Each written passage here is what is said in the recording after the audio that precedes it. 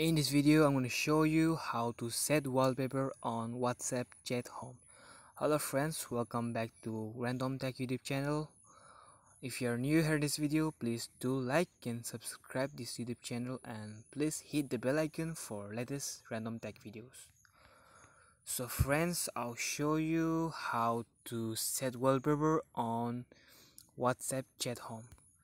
So it's really easy and simple I'll show you by setting wallpaper on WhatsApp chat home. So you can see it's it's normal wallpaper chat wallpaper chat home. So you can it's normal. So to to put wallpaper you can simply tap here and then you can see and then wallpaper you can see. Tap on wallpaper and then gallery. You can you can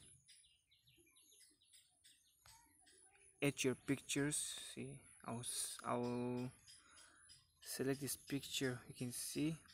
So you can see. It's done. So you can simply tap on set. So you can see. It has been changed. You can see. You can see. So that's really easy and simple. I hope you can do this. So that's it for now. Till then thank you for watching the video